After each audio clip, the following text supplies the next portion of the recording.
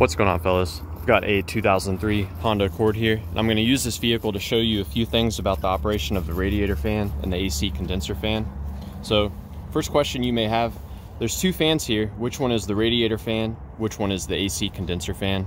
So the fan on the passenger side, which is this one right here, that is known as the AC condenser fan. And the driver's side, that is what Honda calls your radiator fan. So the two fans there, so I'll go ahead and point over to the uh, fuse box here. We're gonna pop this open. Now each fan has its own 20 amp fuse. So the 20 amp fuse for the condenser fan, again, that's the one on, the passenger side. That's gonna be this one right here. And the driver's side fan, that receives power from this 20 amp fuse.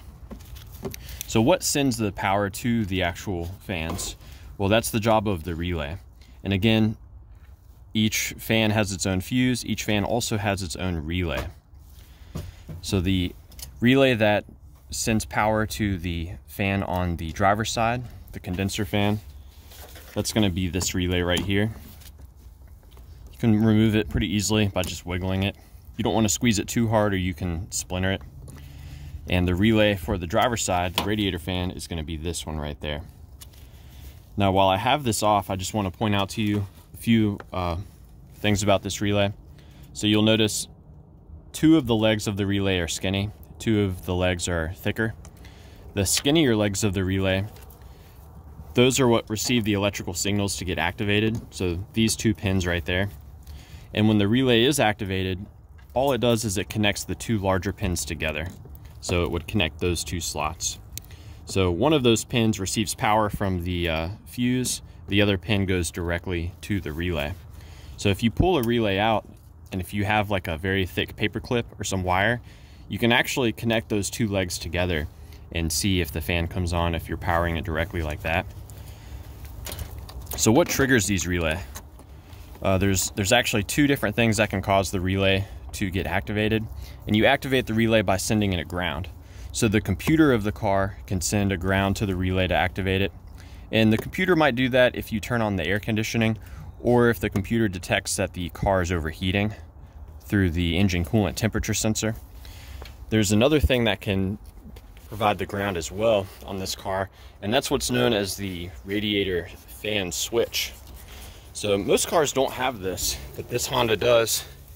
So there's actually a switch at the bottom of the radiator right here. There's a wax pellet in there and when the temperature exceeds a certain amount, all this does is it connects those two wires together. And when those two wires are connected together, that grounds the relay and causes it to activate. Now, we've, we've discussed how the relay receives the ground. What actually sends the power to the relay? So there's a fuse in here, a seven and a half amp fuse and it's this one right here. So that actually provides power to both of those relays constantly. Again, the, the relays are activated not by the power, but by the ground. And uh, one more tip as well, you know, let's say you've tested all the fuses, you've swapped the relays around and everything is good. Probably the best way I found to see what's going on is to just disconnect it, disconnect the fan in question you can see if it spins freely. A lot of times the fan won't even move when the motor's locked up. And with it disconnected, the black wire, you should measure ground. And the, in this case, the blue black wire, the other side has a blue yellow wire. That's where the power comes in when the relay is activated. So if you throw a voltmeter in here, you should be measuring power if everything's working properly. So if you see power between those two pins, but the fan's not turning, then you know you have a bad fan. So yeah, I've given you guys a lot to uh, go over and troubleshoot. I hope it was helpful. Be sure to let me know if you have any questions or more importantly, if you have any advice about troubleshooting the fans on your Honda Accord.